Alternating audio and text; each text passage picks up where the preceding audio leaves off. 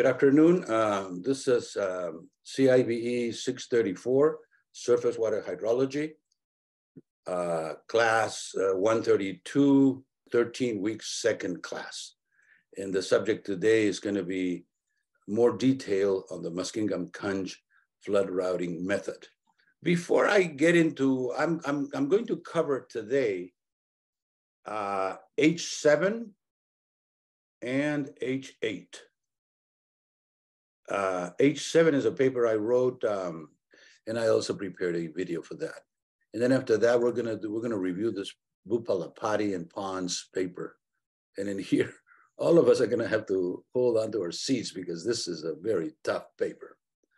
Um, but before I do that, I'm going to run over or go over with you over the details of the Muskingum Cunge method because because that's the meat of this of this chapter here in channel routing because nowadays people are are using Muskingum method and and they're also using Muskingum Cunge, but I would say very few people are using Muskingum Cunge. The only people that are using actually Muskingum Cunge is those that are running HMS. When they run HMS, HMS offers them that they could run Muskingum Cunge and they do it. But there you're not really doing coding or anything like that. We're just, you're just answering questions that the computer developers, which is the Army Corps, are going to ask you, do this, do that, give me the data, give me that data, but you really, really don't know. The only way to know this is to program it, sit down and program it. And there, the chances for you guys to do that, like I said, are very small. There are there, but they're small. Uh, nevertheless, people may like to do some programming. There's always that case. I had a many years ago, a little story. I had a student that um, had done some reservoir routing. Very good student of mine. Uh, he was one of the top students back in the middle 90s. And I, I invited him to give a lecture, uh, to give a lecture to our students on some subject. And he came some subject and talked about reservoir routing and all this sort of thing. And I was really impressed. So I asked him, I said, what, um, what software did you use just out of curiosity? And he said, I wrote it myself. And, and I said, You wrote it yourself? I was surprised. And he says, Yeah, I followed your book. I was really amazed and pleased that he had said that. So he followed my book in order to write it himself. And he could do it. And it can be done not just with the reservoir routing, but with other methods too, even with the Muskingum, even with the Muskingum Cunge. So I'm going to go today, with any further ado, to the Muskingum Cunge, and I'm going to explain as I always do, uh, how what, what's the data in here? Okay, so it's it says use the constant parameter Muskingum Cunge method. Constant parameter. What are you, what, what am I talking about? Well, there's two ways to do the Muskingum Cunge: constant parameter and variable parameter. And I'll get to that later on in the next publication. To route a flood wave with the following flood and channel characteristics. Route a flood wave. What does that mean? A flood wave is a flood wave. And, and if you route it, it means that you're pursuing the wave as it moves downstream and trying to figure out its speed, meaning its celerity, and its, its rate of attenuation. That's all there is to it. Very complex subject. Uh, uh, Seddon discovered the celerity of, of a flood wave in the year 1900. And then it took 55 years for the British people, mathematicians, by the way, Leahy and Whitham, to come out and, and set the, the record, rather set the theory straight on the stuff that, that um, Seddon had done in the year 1900 with using some theory, but not using all the theory. So we reckon that uh, it was due to Leahy and Whitham that the scientists like myself and others were able to really dig into and understand the concept of kinematic wave in the concept of routing because kinematic wave is one way of routing. Remember, I said there's three waves, the kinematic, diffusion, and dynamic. So let's move back in here. The following flood characteristics. We're, sort of, we're giving us some flood characteristics. This means already uh, that we need some characteristics of the flood in order to route it. Otherwise, we, what are we going to do, right? So I'm giving you here the minimum characteristics that needed to be, uh, so in order to, for us to apply the method. And this, by the way, this is a classical example. It is a very, very simplified example. In practice, examples are going to be much more complex. So the peak flow, Q sub P equal 1,000 cubic meters per second. These are round numbers. The base flow is zero. The channel bottom slope S sub O equals 0.000868. The flow area at peak discharge, flow area at peak discharge. So we have a peak discharge and we have a flow area at peak discharge. So that means that we're going to be routing, routing this uh, Muskingum Cunge for a constant parameter at peak discharge because I already given you the, the discharge and the area. The top width at peak discharge, so I've given the area and the top width. So I've basically given you already a kind of the shape of the cross section, right? And not only that, for this example, I'm giving you the rating exponent, beta, equal to 1.6. What's the standard beta for a wide channel? Is 5 thirds, so that's 1.67. So 1.6, that means that this is not quite a rectangular channel. It is probably trapezoidal. Uh, wide, but yet wide, 1.6, because 1.6 is for trapezoidal channels that are wide. 1.5 would be trapezoidal channels that are not that wide. And by the time they get to 1.33, they're triangular, they're not trapezoidals. We know that, and I already talked about that.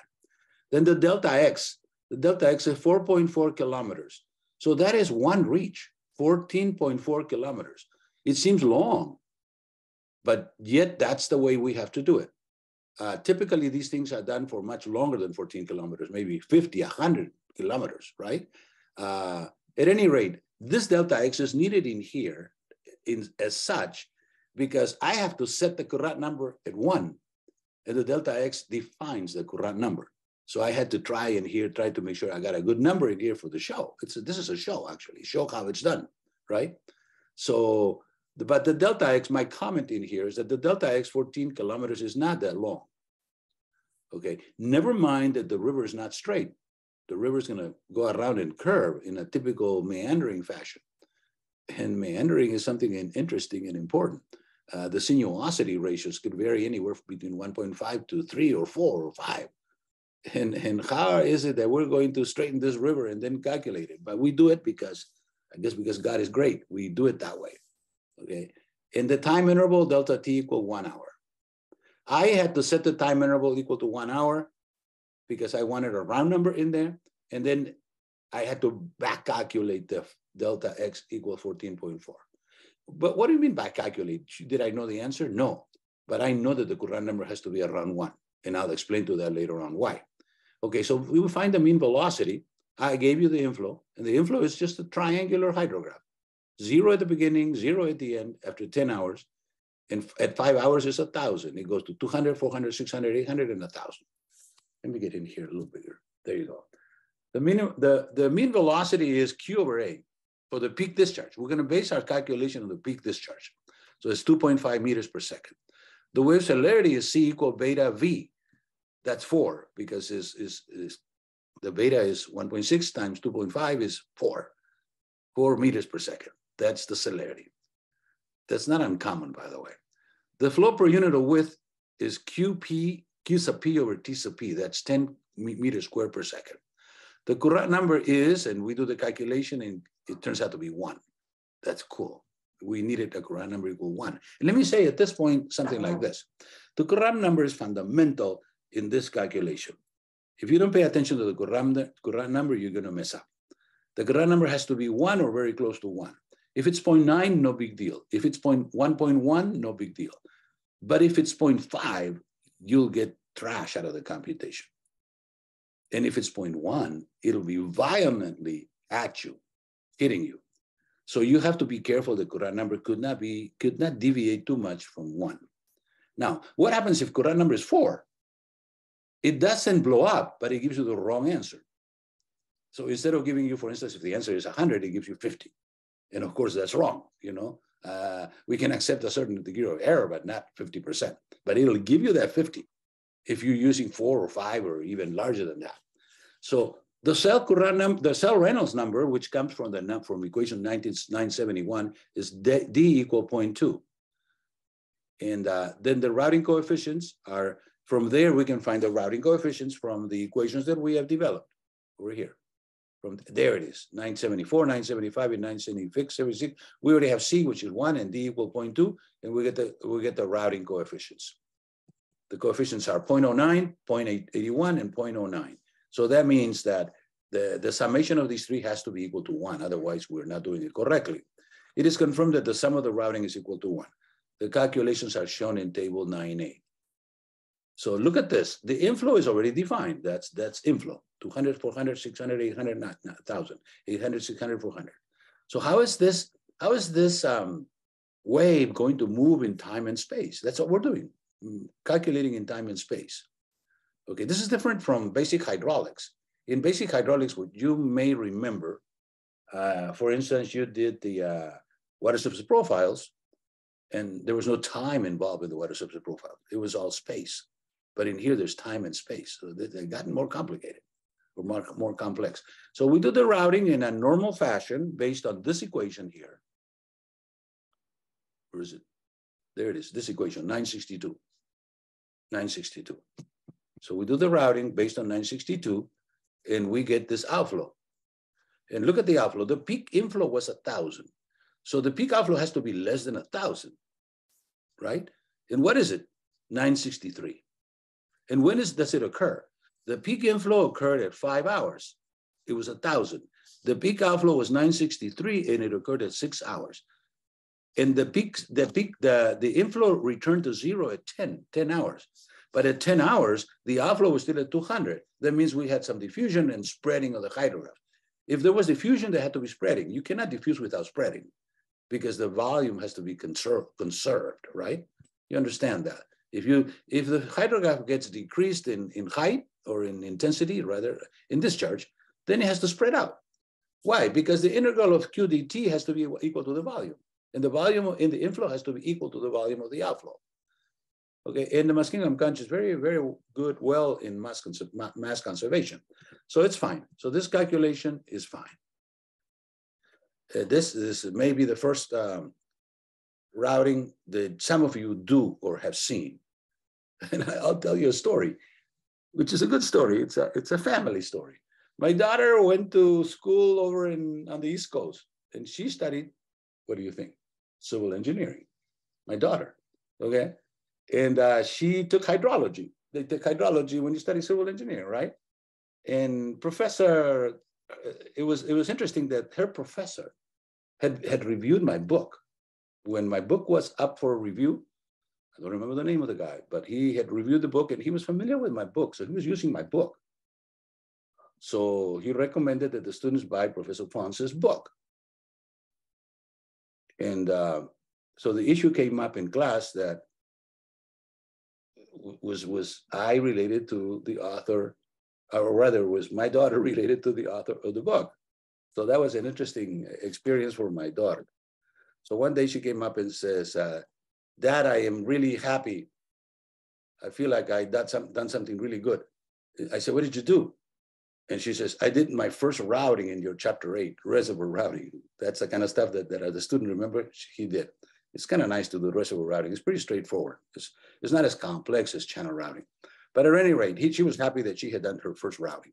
So that's the end of that story. So now we're going to come in here and we're going to go to um, the story that I, not the story, but the paper that I wrote in the year, it was not 2011, it's 2020, look at this. So I made a mistake in there. I, I'm not free from making mistakes, okay? So it's over here, a Muskingum-Cunge method explained. This paper was put into a video because at the time, you wanna know this, at the time we had a pandemic in the year 1920 and I had a lot of time to do videos. So a lot of the stuff that I did was in the 1920, 21. We really hit the roof on the videos because we had a lot of time in our hands. So that was the benefit. So Muskingum Cunge method explained. So I'm going to explain here in not layman terms or layperson's terms.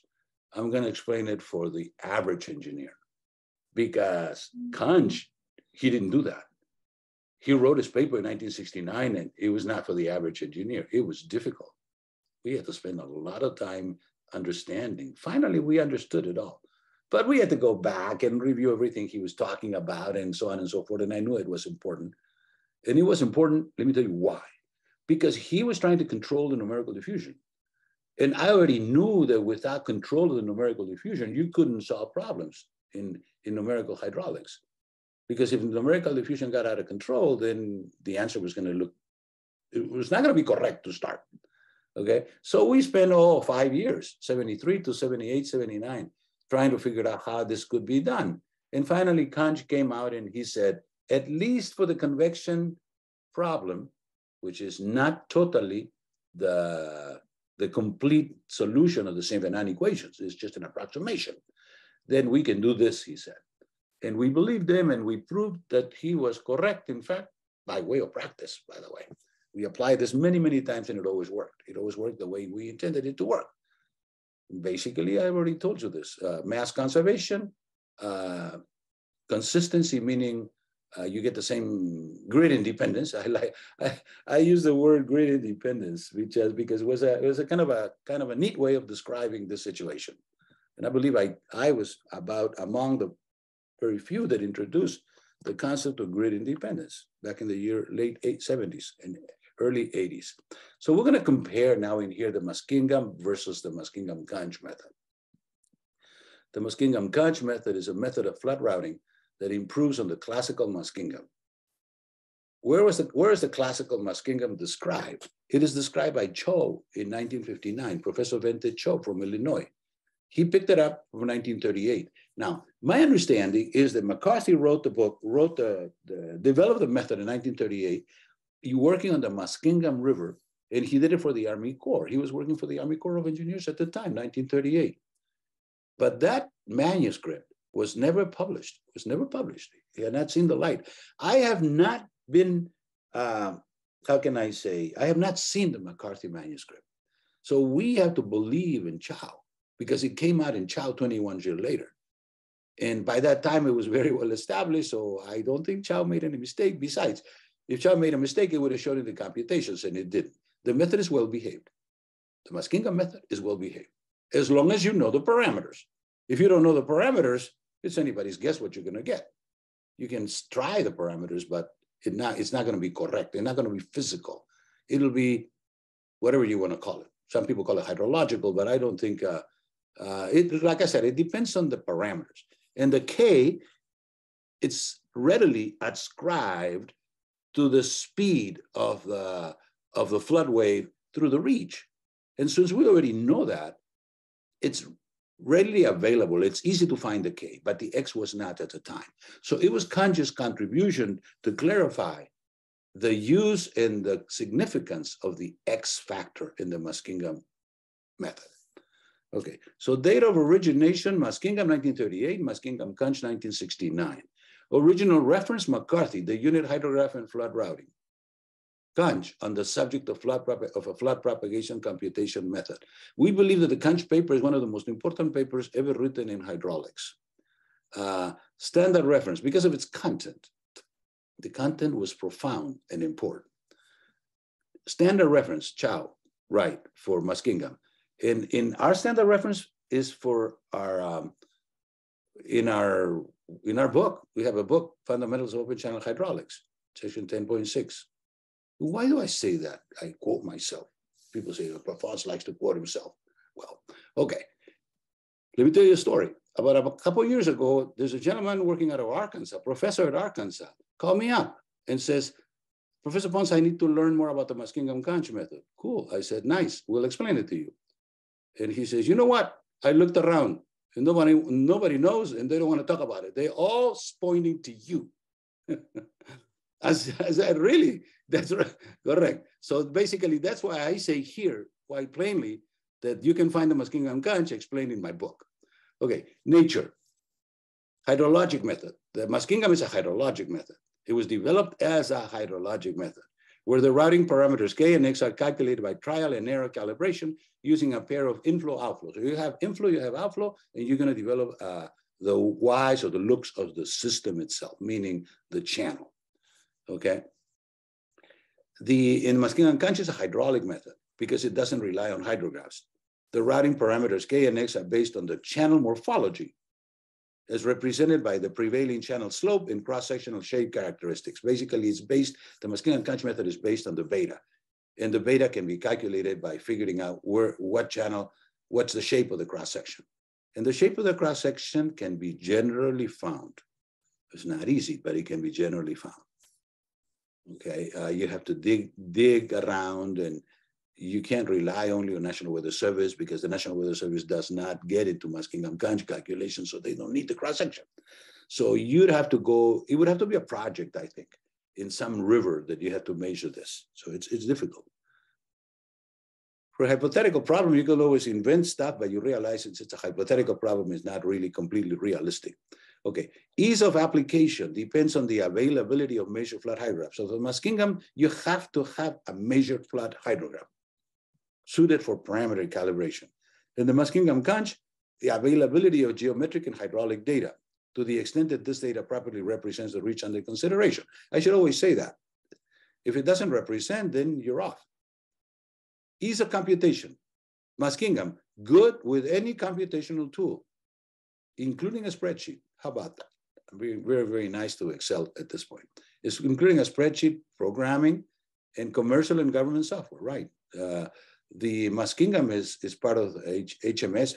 Prior HMS was called HEC1 uh, since, nine, since the 1960s. I'm sorry, say, yeah, 68, 68, 70. Uh, Muskingum Cunge is good with any computational tool including a spreadsheet, programming, available soft commercial and, and government software. Yeah, uh, I, I should say this, and I'm going to say it. Uh, spreadsheet is, is okay, it's nice. The only problem is spreadsheet originated prior to the web. The spreadsheet goes back to the late 80s, beginning 90s, and the web started in 1994. So the spreadsheet is, wasn't really designed for web work. So you can do spreadsheet, all the spreadsheets that you want to do but don't expect them to put them on the web. And you should though, because now the web is the the area, the communication and sharing of the uh, of, of everybody. So if you want to share, then it's not a good way of way to go. Accuracy. The Muskingum is good for the reach and event used for calibration. In other words, if you're going to use uh, an event inflow outflow in order to calibrate K and X, the K and X can only be used for the inflow, outflow that you used in the calibration. You cannot use it for some other inflow and outflow. You could use it, but you would be extrapolating wildly. That was said by the Army Corps at one time, by the way. The Army Corps said that you, they couldn't use the Muskingum for the, that they, that they calibrated for this uh, event, uh, which was at a certain level, for the, and then extrapolated and used it for this other event, which was either higher or lower. They said that. As a matter of fact, that that's what they say in their in their publications. What they did at the time, before we had the Muskingum Cunge, is what the, that they had three calibrations, low, medium, and large, or, or high stage. And then they correspondingly varying parameters, K and X, for low, medium, and high. And that by having three points on the curve, they could approximate what the actual K and X values would look. Now, the Muskingum Cunge, though, very good for all events within the reach only limited to the extent that hydraulic and geometric data must be representative. There's twice, I've said that twice in here. Why? Because I believe it is important. If you think that stuff is important, you repeat it twice or even three times. Nonlinear flood routing, very limited. The Muskingum, very limited, usually not available due to large hydrologic data requirements. That's what I was referring to for the Army Corps. The Army Corps found out that they could not use the same K and X for various stages from low to high, which means nonlinear flood routing because it's the, the K is going to change from low, medium, and high. The K and X, if they don't change, then it's not nonlinear, but the world is nonlinear. So they have to admit that. Uh, Muskingum Cunge available at the cost of additional complexity. Yes, somewhat additional complexity. Uh, in overall assessment, dated method. We believe that the Muskingum is dated limited in accuracy when used for extensive watershed basin routing. It should not be used. Actually, it could not be used for extensive watershed basin routing. It's impossible. So it's okay for one reach, but not for if you have 100 reaches. And we have had many, many applications, I would say in the dozens, applications where we have done this for 100 reaches, 200 reaches, like that, the Santa Cruz Basin and all uh, uh, other methods or other, the, the stuff that we did for, for the La Leche Basin in Peru, that they had about 40, 45 basins. And then the Muskingum Cunge is a newer method featuring state-of-the-art hydraulic numerical modeling ideally suited for extensive watershed and basin routing. That's what we, we did it. So let's take a look at Muskingum Cunge and flood waves. The key to the understanding of the theoretical basis of the Muskingum Cunge is the recognition that the diffusion wave applies for, through a wider range of competing waves, such as the kinematic and dynamic waves. Kinematic waves do not attenuate. Do the flood waves attenuate? If they do attenuate, they wouldn't be kinematic, okay? While mass flow waves attenuate at least a little bit. On the other hand, dynamic waves attenuate too much and therefore do not represent flood waves. And that's our, our, our bag in here. We're saying that the kinematic waves will not attenuate. So if, you, if, you, if your flood wave is kinematic, so be it, fine. Dynamic waves attenuate too much.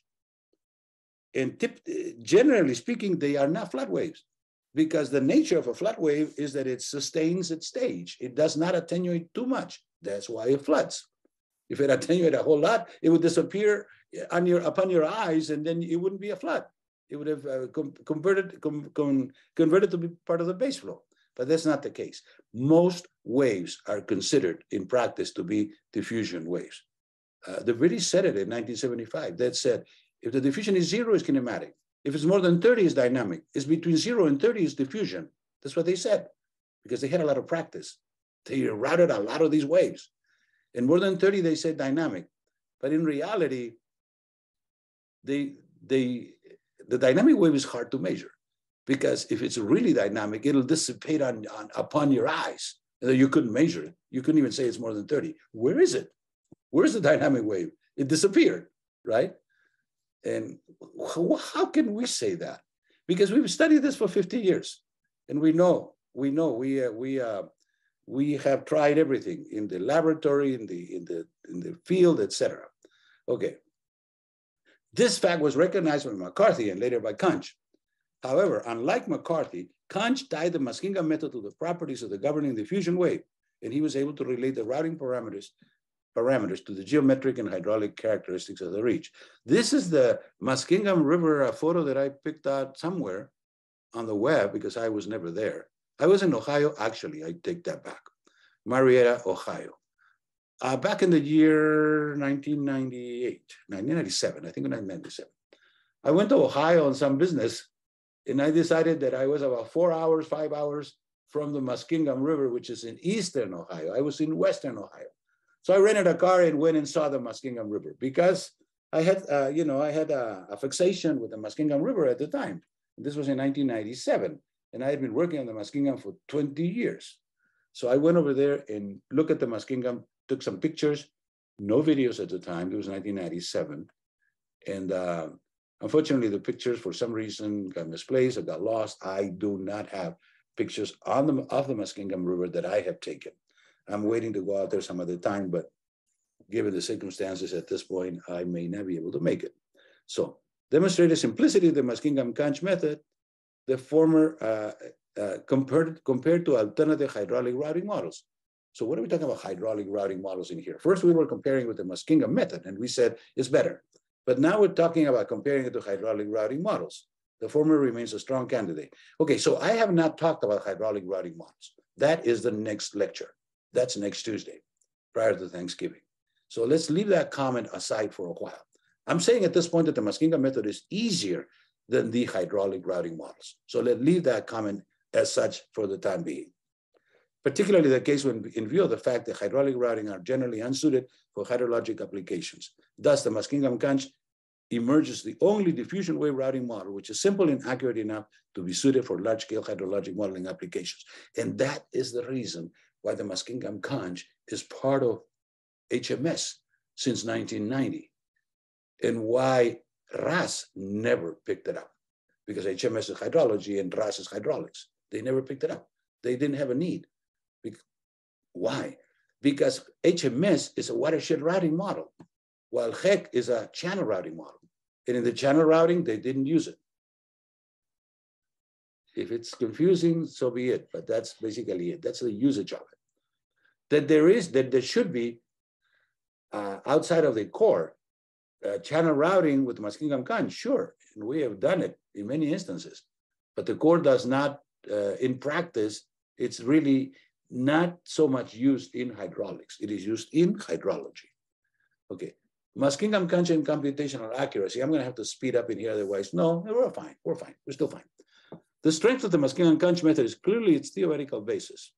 Cunge realized that the Muskingum method and the kinematic wave model share the same theoretical basis. He was able to calculate the error of the first order numerical scheme and to tie this and to tie this error to the hydraulic diffusivity of the diffusion wave. That means the Hayami formula. This accomplishment paved the way for the calculation of routing parameters in terms of geometric and hydraulic variables thus circumventing the need for the expensive and impractical stream gauge measurement. Okay, so uh, Muskingum stability and convergence have, have been extensively documented both in theory and in practice.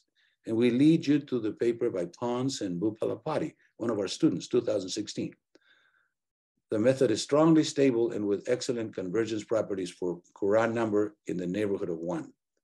This property of strong stability and excellent convergence properties all but assures its grid independence, the property of a numerical scheme to reproduce the same result regardless of grid resolution, regardless of the grid size. You can put any grid size in there, and providing you, it's all being done all right, of course, numerically, it will give you the same answer, regardless of the size of the grid.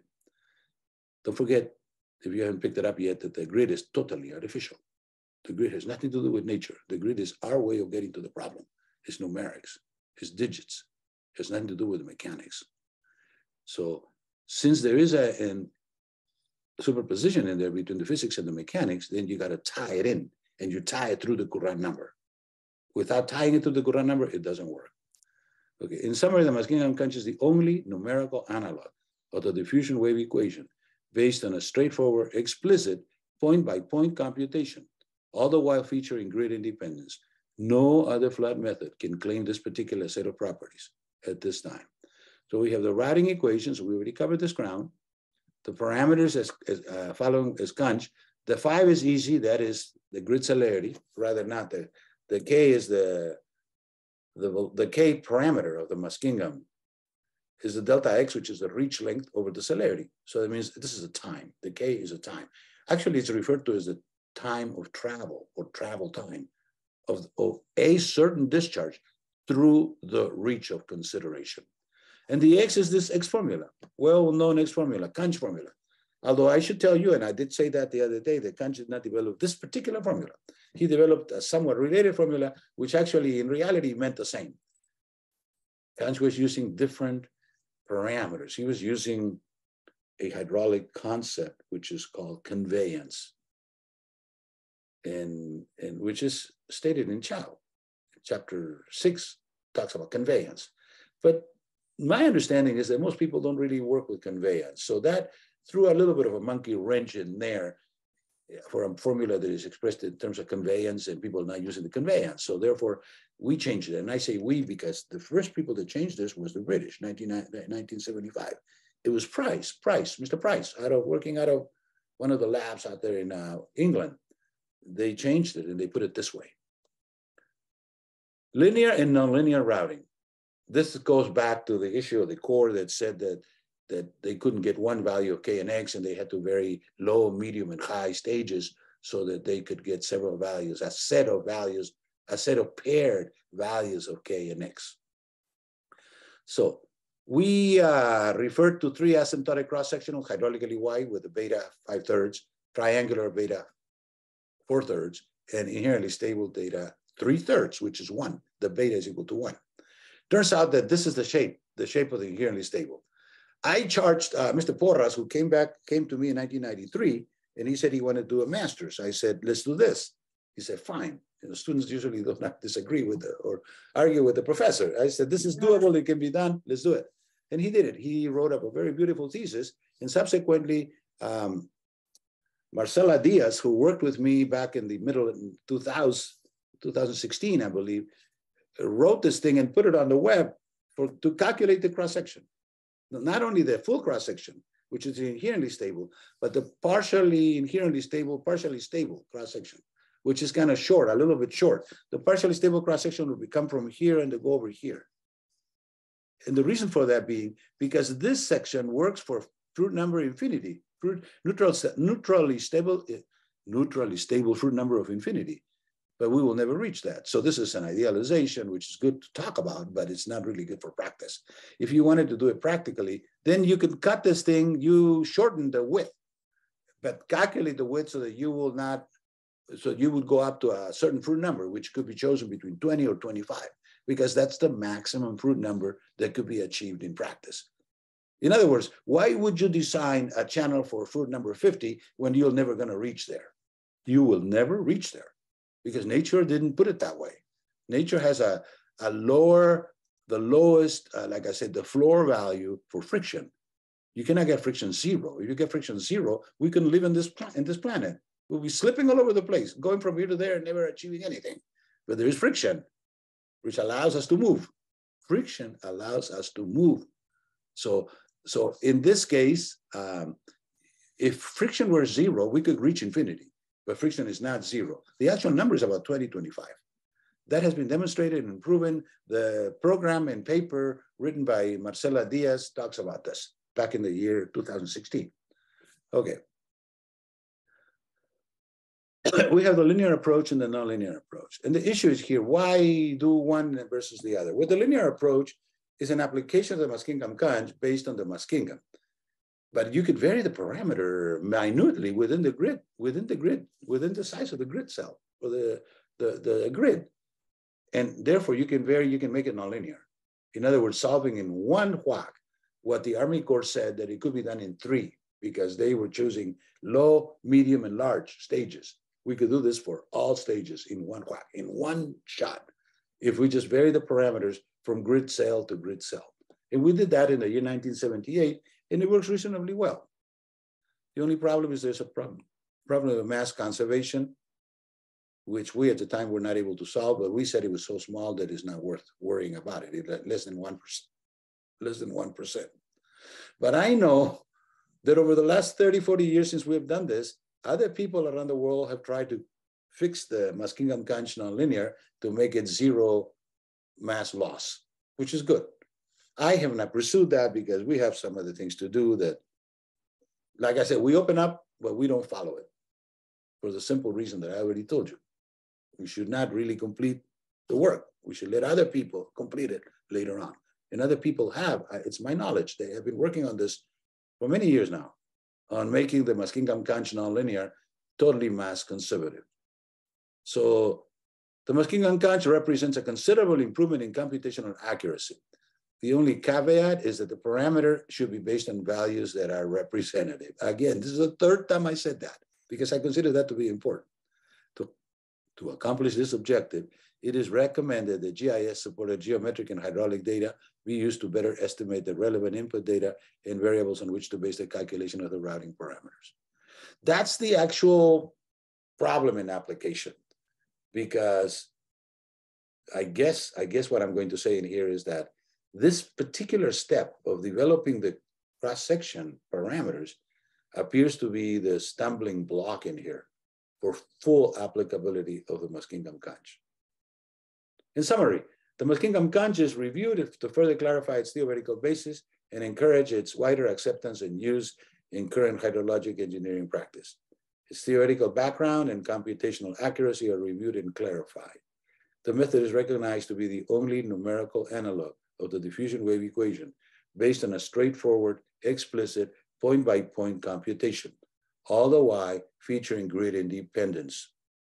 We note that no other flood routing method can claim this particular set of properties at this time. And to close, there's another story that I'm going to share with you. Uh, we did all this work in 1977. But then in 1986, we applied it to the, um, to the watershed because we realized at the time that it was okay for the channel. It's beautiful, good theory, but very few people are, were going to be interested in applying it. But for the watershed, it was important. So I sat down and worked the paper called Diffusion Wave Modeling of Catchment Dynamics in 1986, which I believe is the real application of this concept because it's at the watershed level. And there was a great paper. And then in 1987, I got noted by Army Corps and invited me. And then three years later, they adopted my methodology. I already shown and told you that. In 1990, they adopted my methodology in their version, in their fourth version, number four, version number four of HEC1. And then in the year 1998, they converted HEC1 to HMS. HEC1 no longer exists. That was a uh, character cell version, old version, right? That had been around for 30 years. Because in 1968 is when uh, one of the top engineers over at the Army Corps at um,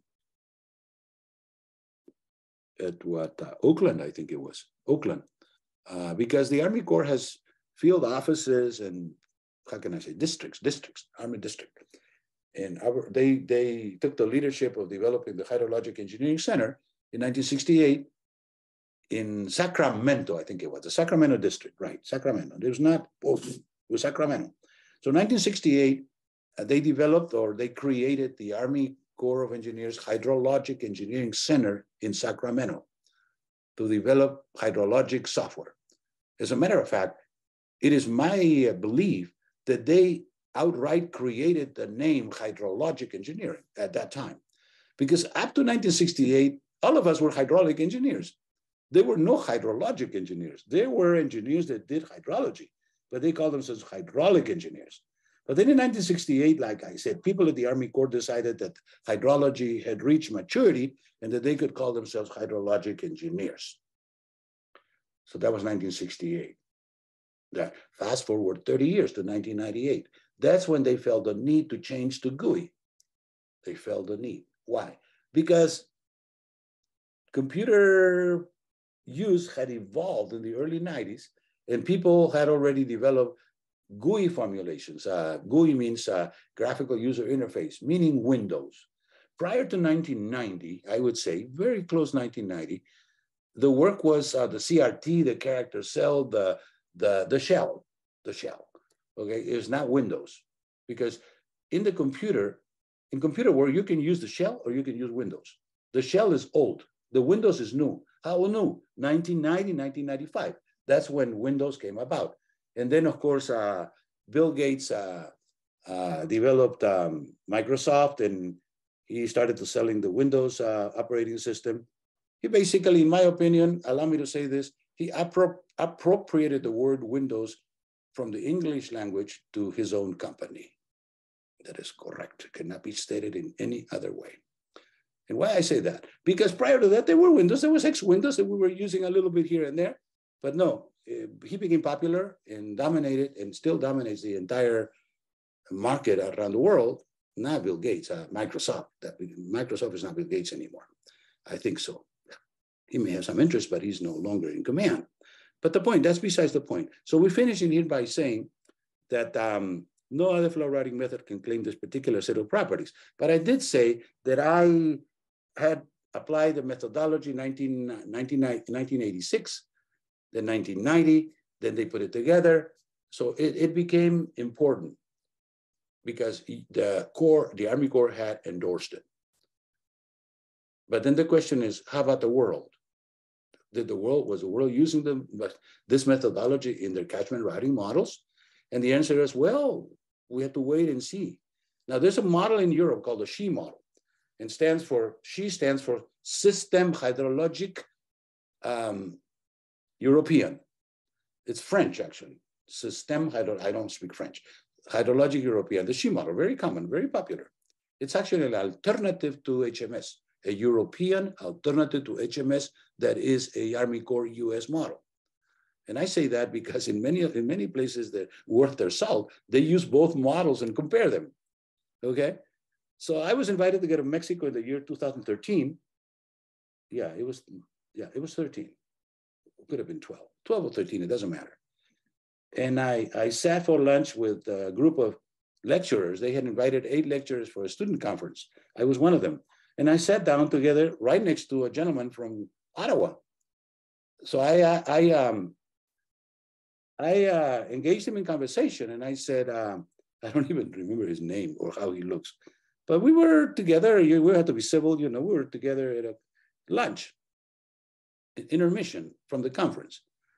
So I said, well, you, where are you guys, where are you from? And he says, well, I'm, I'm from Ottawa, Canada, and I work with uh, Danish Hydraulics, Danish Hydraulics Institute, DHI. They are the ones that originated computational hydraulics in Europe back in the early 60s.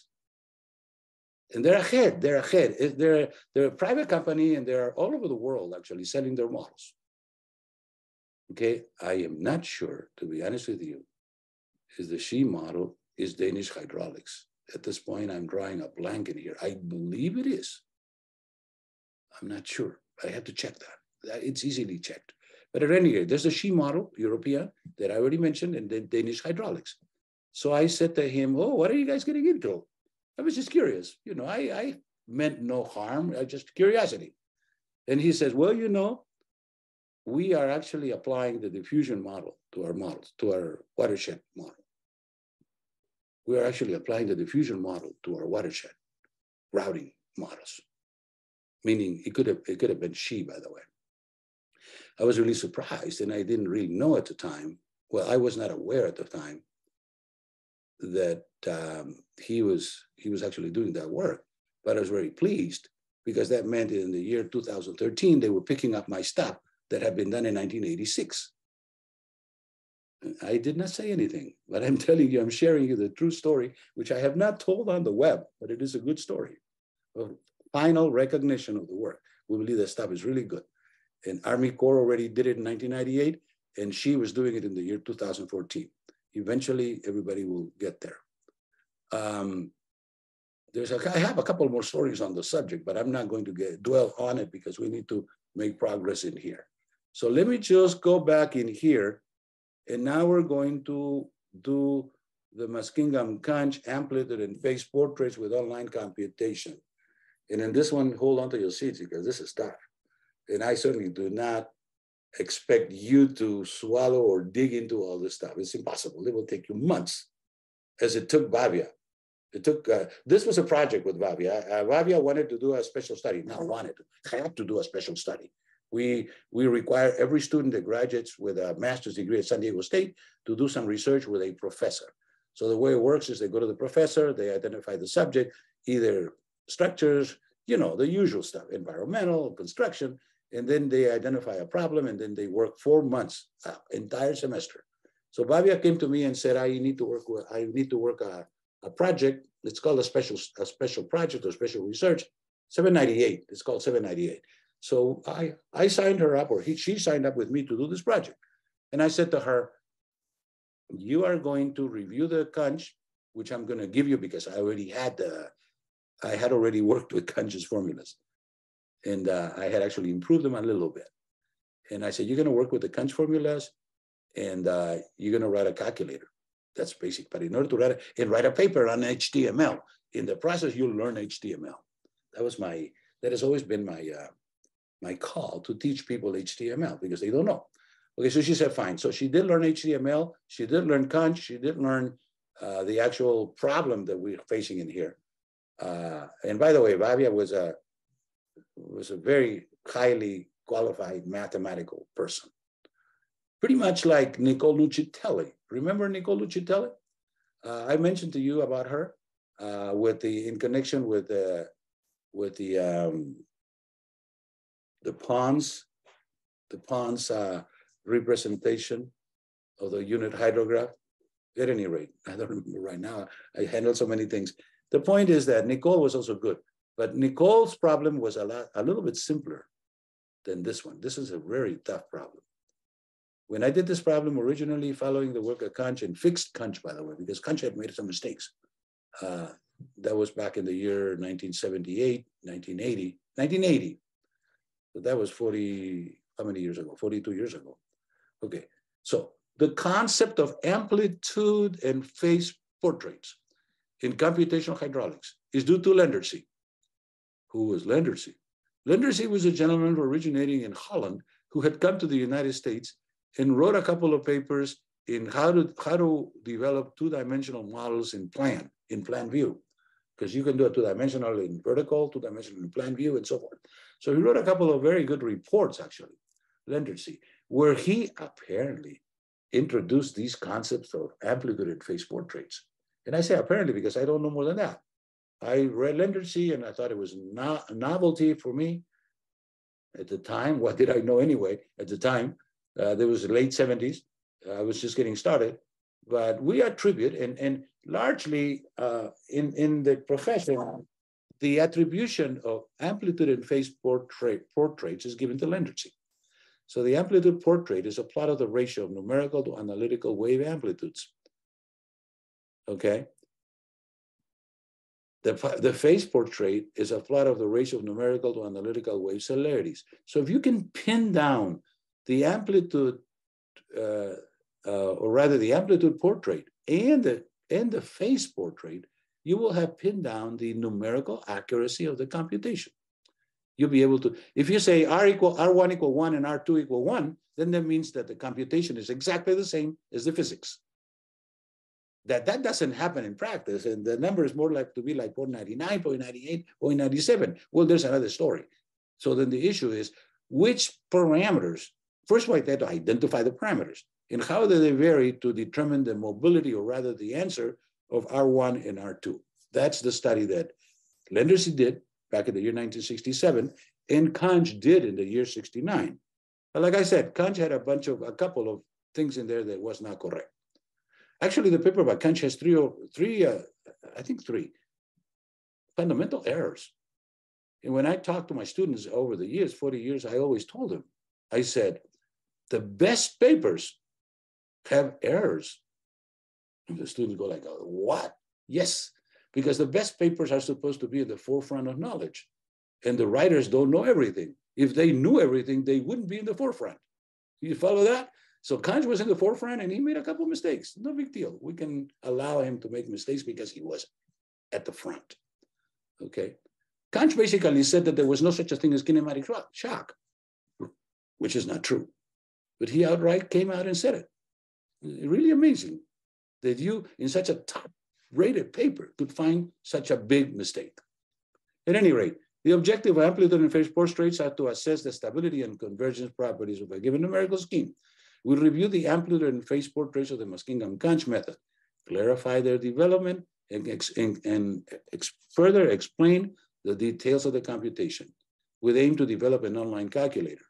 So the Muskingum-Cunge method, we already covered that ground, okay? Derivation of the equations, we already covered this ground the, the, the thing about Cunge was this, and I'm going to, I said it already in computational hydraulics, but this is what happened. McCarthy was not a numerical man. He was working in the field and he was dividing this discharge against this other discharge, and he found the method. How did he find it? Through sweat, after like Marcus, after four years of working with the equations and finding that this equation was the one that best did the work. Four years of work, McCarthy. That's well known, by the way, 1934 to 1938. It takes a lot of sweat in order to come up with an answer, a good answer, like McCarthy's, when you don't know the stuff, when you don't know the basic fundamental mechanics. Cunge knew the mechanics 35 years later, 30 years later. Cunge knew the mechanics. Okay. So he set out to do numerical and he was taking the kinematic wave equation and discretizing numerically, and lo and behold, he found out in not too, uh, in not, I, I suppose not, in not too much time, that he was really solving the kinematic wave. It was the same discrete equation, the same numbers, the same shape of the equation that McCarthy had found in 1938, Cunge found in 1969. So then immediately Cunge said, this kinematic wave stuff, this equation number one, is the Muskingum. It's the same equation. Just you need to look at it this way. It's the same equation. Okay, you got an X, you got a Y. It's the same, same thing. But then he asked himself, wait a second. This method is kinematic. According to Lighthill and Whitham, it should not diffuse, and yet it diffuses. Let me repeat, because that's the crux of the matter. He said, this method is a, is a kinematic wave. According to where McCarthy originated kinematic wave. McCarthy did not know because there was no kinematic wave definition by the, at that time. So he, you could not uh, tell McCarthy about, to talk about kinematic wave because he didn't know. There was no such kinematic wave at that time. So then Cunge reasoned quite well because he knew, he knew his math, that it was a numerical diffusion problem. And he created at that time the concept of numerical diffusion. Yes, there is diffusion in the Muskingum Cunge, but the diffusion is numerical. So our job, said Cunge, is to figure out what is the coefficient of diffusivity of the numerical scheme. And that he did. And he came up with the equation that we have already seen. amply many times. Okay, that equation that I said was modified by Price in England, and then we used it too. So Cunge himself was very adept in math. He's a Polish gentleman, and apparently those people are very good at math. He's also a very smart guy. He developed, he decided to go to France and he ended up making his career in the, the total of, or the, the bulk of, of his career in France. He actually was an engineer with Sogreah. Sogreah is a company, it's a private company, engineering company in, uh, in a northern city, I believe. I'm not sure. I don't know too much about France. But the point is, he was working, Sancho was working in Sogreah, and he it was in Sogreah that he developed this stuff. And he was very mathematically oriented, more than a typical engineer. So he decided to do this. He decided to do the computational, the, the Leendertse uh, phase, amplitude and phase portraits, and he did it. And I, at this point, my memory is a little bit fuzzy, but I believe that he made a couple of omissions in there. Why I say that? Because we reviewed this so many times, okay? He made a couple of omissions, so he did not complete the job, basically. He messed up at the end. He could not express it completely as we would have liked to, and we had experience. So we decided to correct him, and we did correct him. And we came up, came, we came about in 1979 with a paper correcting his amplitude and phase portraits, which is this paper, by the way. It's the same thing. So as you can see now, the going get stuff in here because because now he's getting into the imaginary domain, which is the domain of um, of um, von Neumann. You guys have had take computational hydraulics, have heard me talk about von Neumann. Von Neumann invented this equation number five. Well, actually, he did not invent it. He just used it extensively in numerical analysis. And that's why his students, because he had a lot of students, he was a professor, I believe, at Princeton. Uh, his students call this the von Neumann equation. Neumann, like N-E-U-M-A-N-N, originally from Germany, by the way, von Neumann or von Neumann. So this is a von Neumann equation that uh, the Cunge used, knowingly or unknowingly, I don't really know, but I know that we can tie the progression of this stuff to the 1945s to 50s, because von Neumann arrived in the United States in 1946, right after the war. And by 1950, he was very well established as a professor and as a matter of fact, they say that he was instrumental in the development of the electronic computer in the US, von Neumann. One of the people that developed the, had a, share, had a say in the development of the electronic computer, which came about in the nine, early 1950s. 54, 55, we already had a computer. Okay, that took a long time, by the way. So these uh, von Neumann equations had to be used in the discrete and in the uh, uh, um, analytic and discrete and compare them in order to find out the answers that we are going to deal with. So take a look at this. I'm not asking you to review it for looking for errors. That would be that would be a high call. It would take you a month to do this. But uh, Bhavya had a month. He had four months. She had four months. So she did it. And it's a testament to her patience and her decision in order to do this sort of stuff because it is it is tough. I did it on my own when I was young, and then Bhavya did it. She was also young, and it can be done. It's just straight algebra, but it's it's advanced algebra. You got to keep track of the i's, the imaginary terms. You know, every time you square the imaginary terms, you end up with a negative or something like this. The square root of minus one is equal to i, the imaginary term. If you remember your math in here, you should. Okay. I should tell you that when I went to Colorado State, I think I already shared this story with you, but it is a good story. I met with, uh, at the start, with my professor, Daryl Simons, and he says, Ponce, we have a lot of courses here. We have a big operation here. You can choose any course you want, typically in hydraulics, because they also had hydrology, they had this and they had that. But he says, I recommend that you take math 541. I said, really? and he said, every one of our students takes it. That's the way he's put it. And that's the way he talked. I said, I'll take it and I took it. And the, the fact that I took math coming out directly from the field, I was a field engineer prior to being there. It was a little bit rough, but not too much because I figured that I had no choice. And therefore, I got into the math and I was able with that to do the S curve and many of the other things. I was not afraid of any of this stuff anymore after I took that class, which I passed with an A, but I had to work extremely hard, meaning learn a lot. Okay, so we have in here the stuff that Bhavya put together and typed and made sure that there was no mistakes or anything like that because I also went over it and I was very familiar with the subject. And then we define the convergence ratios in order to get to the answer, right? So that's the convergence ratios over here. The convergence ratios R1 is this equation 48 and R2 is equation 50. And then we have, we have, we can calculate the convergence ratio using the calculator online Muskingum Cunge convergence ratio. We put it into a calculator. First, let me show you what we did. We basically chose the three parameters that are controlling this, this uh, the accuracy of this computation. What are they? The Courant number between 0.1 and 4. The spatial resolution between 20 and 100. What does the spatial resolution refer to? It means the ratio between the physical length of the wave and the discretized space. So in here is 100. So 100 times space steps in order to get to the wavelength. And in here, 20. Me, needless to say, this is coarse and this is fine. And fine is better than coarse. Why? Because what we're doing here is linearizing all the time. And if we have a hundred, um, rather a hundred grid sizes, we are the, the discrete points approximate very closely to the function, which is nonlinear. If it's 20, the approximation is not as good. So 100 is better than 20. In here, the Courant number, I already said, 0.1 would be very low and four would be kind of high. So we want to try, and we already said that one has to be, uh, is the optimal, the optimal value. And that is a, there's a rationale for that, by the way, but I, we don't have the time to get in there. And, and, uh, and the weighting factors, weighting factor is, and the weighting factor is going to vary from between zero and 0.6. What's the weighting factor? That's the weighting factor of Muskingum.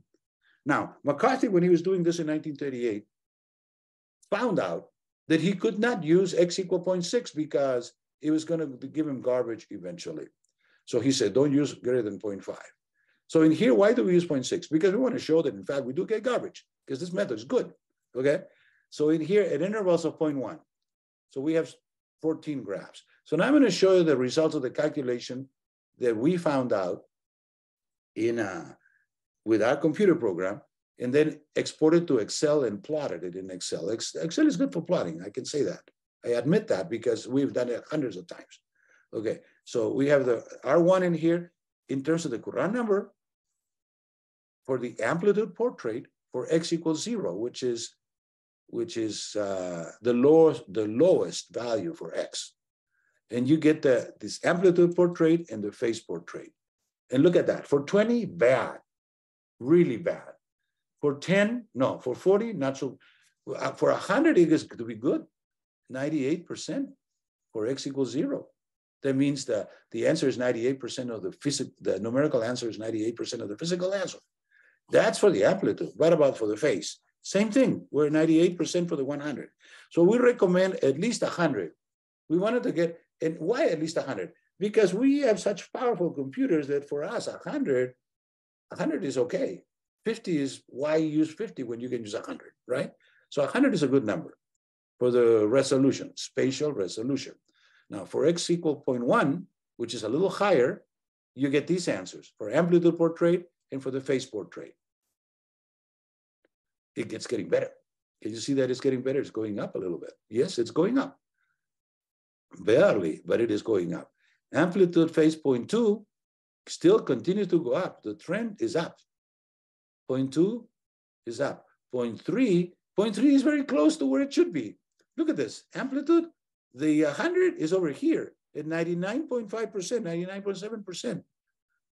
And the phase portrait, and 99.7% in hydrology is already correct. Don't, don't, don't mess around. I mean, I already told you hydrology is fuzzy. And here we're looking at 90, 99%. Over here, for point three. How interesting. The phase portrait started going positive, meaning bad. It should not go positive. Actually, take that back. It's just the answer is one. So if you get 1.1.01 over here, it's a little bit exceeding what it should be, right? But interestingly enough, it is at point three that these phase portraits are going positive. Look at this. This was not, did not go positive. This one is going positive. Then amplitude portrait for point four it goes even closer. And the phase portraits, it, goes more positive even. And for 0.5, how about that? For 0.5, the answer is correct. Why? Because that's the kinematic, the solution of the kinematic wave, and it has to be correct. So that's what it is. That's the phase, the amplitude portrait. But the phase portrait, there is a slight difference. But listen to this. But the only accuracy, perfect accuracy in here is given for Courant number equal one. Everything else, for Courant number equal four, you get 0.9. That's bad. Okay, after being at 99, now 0.9 will be bad, but that's 20, 40, 60, 80, 100. 100 is still good, but you have in here this a little bit derogatory statement in here going positive for 0.5 for the phase, but the amplitude, the amplitude is perfect no matter what resolution. So there's got to be something in there. And that the, the, the something is that there's the kinematic wave solution, at least for the amplitude. Now let's go to six. That's the last one we did. At six, definitely misbehaved. The amplitudes are going up, higher, higher than one, meaning blowing up. In the phase portraits, the same thing, but the amplitudes is the one that uh, that are really showing badly in here. Okay, so the conclusion is that we should not use 0.6. We should use 0.5 at maximum. What value should you use? Well, you can pick up typically 0.3, 0.4 is better according to these amplitude and phase portraits, by the way. And these amplitude and phase portraits have hold or tell nothing but the truth. There is no other truth. There could be other truth if we had made a mistake. But we have reviewed this many, many times. We did not make a mistake, and it reproduces what Kant is saying anyway, right? So the analysis in here is that perfect convergence is achieved for x equal 0.5 and Courant number equal 1. So that's the Courant number equal 1 is important. Convergence in both amplitude and phase improves with an increase in spatial resolution. That is correct. Convergence in both amplitude and phase degrades with an increase in Courant number, particularly for, for, for C greater than 1. Convergence in amplitude and phase improves, or an amplitude improves with an increase in x in the range. And convergence in phase improves slightly with an increase in x in the range. So we already analyzed that. We conclude that the Muskingum-Cunge method is a good representation of the physical prototype, provided the spatial resolution is sufficiently high, say 100. The Courant number is close to one, say one. Can you fix the Courant number equal one? And the answer is yes. In, in computer modeling, you can. Because all you need to do is you choose the delta x so that the Courant number of the physical problem gets to be Courant one. And they can be that. It's been done by Army Corps, and it's been done by Professor Ponce. My overland flow calculator does precisely that. Because if it doesn't do that, it'll blow up. It is uncontrolled. The only way to control this computation is to fix the Courant number equal one, and it can be done. The weighting factor is high enough in the range 0.0 to 0.5. So practical application, we have in here a practical application because I know, I realize there's a lot of, this is a lot of difficult uh, theoretical stuff. So we are going to run in here, okay? We're gonna run in here a calculator, online Muskingum-Cunge conversion ratios. Let me see if I can do this right now. I have a couple of minutes here because I need I need the data and I'm, I do not want to go back and forth. So I'm going to go in here. I'm hoping that I'll be able to do this. Muskingum-Cunge.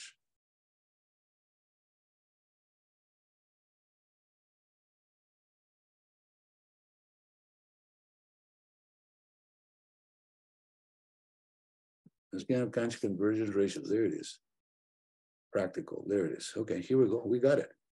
I got it. I went to my calculator calculator page. I found it on the calculator page. Why am I? Why did I do that? Because I want to run this example and I don't want to go back and forth. Okay, so the now I'm going to say mean velocity, 175. Actually, I have it all in there already. I did it this morning. Mean velocity 175. Mean flow depth 2.3 over here. Mean channel slope, 0.068.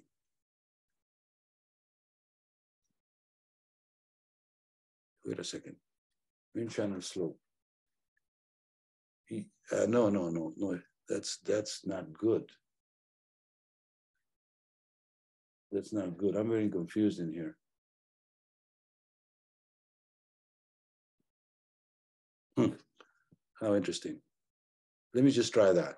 Okay, uh, rating exponent, rating exponent, 1.6. Flood wave time of rise, 24. Reach length, 4,800. No, reach length, yeah, 4,800, right. Okay, I got, I think, in time interval, 0.5. 0.5. So there's one in here that is not quite agreed with what I just did in here. Maybe I just should put in there 0.013. There it is, there it is. I'm sorry, 0.013. I was trying to look for it, what I did this afternoon correctly. So now I got this data in here. Let me double check in here. I got a couple minutes. 175, 2.3, 3.3, 0 0.0013, 1.6 for the beta, 24 for the flood, flood wave time of rise, 4,800. Okay, so now I'm going to run this. And don't forget that I'm doing these calculations on the go in here, and I'm trying to I'm trying to figure out uh, lender C ratios. The lender C ratios are one and are two. And in the paper, we say that is 99953 and the calculator is 99953. The R2 is 999915, 999915. So we did it correctly. So why did we do this? We did this for the purpose of showing the practitioner that he or she could pick up some numbers in here as I have done and figure out what the R1 and R2s are, just to kind of show where, where we are. And that way we did it. This is as, as good as it could get. This 99.953 is one out of a thousand, one half out of a thousand. And in here is, is one out of 10,000 error. So that's very good. So with that, I will finish off in here on the conclusions by saying comprehensive review of the Muskingum-Cunge amplitude and phase portraits is accomplished. Expression for the, expressions for the amplitude convergence ratio and phase convergence ratio are developed as a function of spatial resolution, Courant number, weighting factor. In online calculator, online Muskingum-Cunge convergence ratio, ratios, and we also have practical calculation by putting actual physical values as I have done in here. So with that, I finish off the uh, the Muskingum-Cunge, and our next, um, we now have how many sessions? Uh, we have only one, right? We have only one session. So we're gonna move on in here eh, of nine, 10, all the way to 18, 19. So we're actually gonna mostly skip this stuff and gonna go directly over here to 14. So 14, 15, 16, 17, 18, 19 is what we're gonna do next Tuesday. Thank you very much. I'm going to stop to share now. And um, and uh, our next meeting is next Tuesday, no, Monday, I'm sorry. Wednesday, there is no class because we have a Thanksgiving holiday and it is the practice of the California State University to uh, give us two days of holiday. Actually, it's three days. So we don't have a class Wednesday or Thursday. Thank you very much.